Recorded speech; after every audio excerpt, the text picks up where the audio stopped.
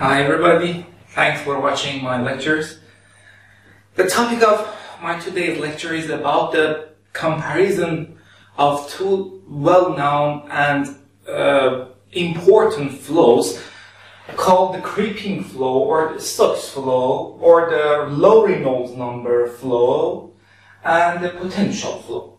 These uh, uh flows are very similar, but um, of course, they have many important uh, differences. So it's important for you to completely, totally understand the similarities and differences between these two uh, well-known applicable flows. Previously, in one of my previous lectures, I have introduced the Reynolds axis. It was uh, an axis which uh, the Reynolds number was varying along that axis and it had two ends. The left end, or the beginning of the uh, axis, uh, was devoted to the creeping flow, and the Reynolds number was very small, near zero. Not always, but uh, mostly near zero. And the end, the other end, or the right-hand side of the axis, was uh, devoted to the potential flow or the Reynolds number uh, goes to infinity. Let's start the, comparison. Uh, the first case, as I told you, is about the Reynolds number. The creeping flow is a kind of flow, uh, is a kind of flow uh, which has a negligible inertia in comparison to the viscous forces. So the Reynolds number goes to zero, and the inertial terms or the nonlinear terms, or the advection term in the acceleration vanish. But here we have the potential flow, which is the an irrotational flow, and the Reynolds goes to infinity, and uh, in contrast to the creeping flow, the viscous forces uh, are small in comparison to the inertia.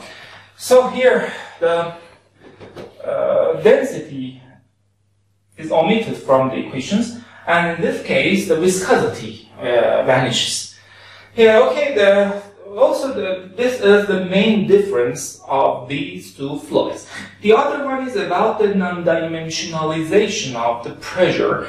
Uh, as you see, star here is the dimensionless pressure, which is uh, uh which is the which is defined uh, as a fraction of pressure difference. This is the pressure of somewhere, for example, on an airfoil or on, on the body minus the pressure of infinity over product of three parameters, the viscosity, dynamic viscosity, uh, times the incoming velocity or the characteristic velocity and the length scale.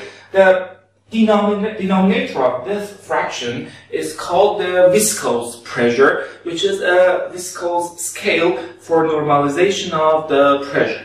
But here pressure is normalized using the dynamic pressure, which is the product, which is the half of uh, the product of the density, as you see here, we the, you don't see the, the density, and here uh, you don't see the viscosity. This is the dynamic pressure, this kind of normalization is more common in different applications. Uh, here, because the Reynolds number goes to zero, the flow velocity is small, so the velocity field is the, the divergence-less and the flow is incompressible, but the potential flow can be compressible or incompressible with different governing equations, of course.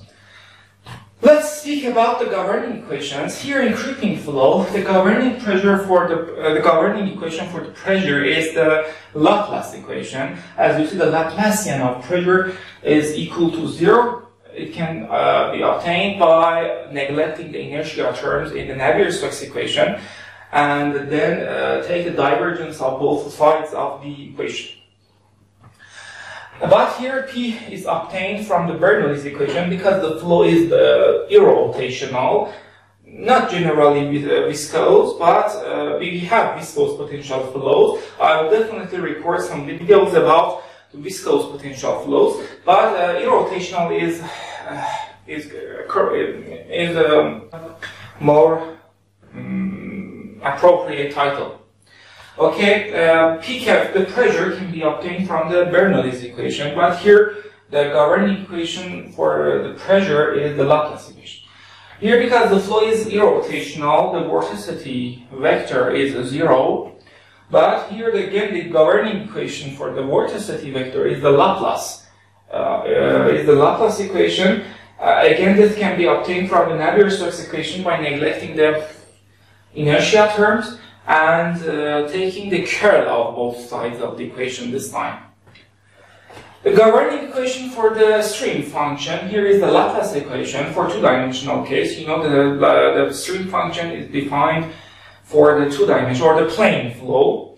And again, for two-dimensional flows, the governing equation for the stream function of for creeping flows is the biharmonic equation. This is the biharmonic operator. This one is the Laplacian operator.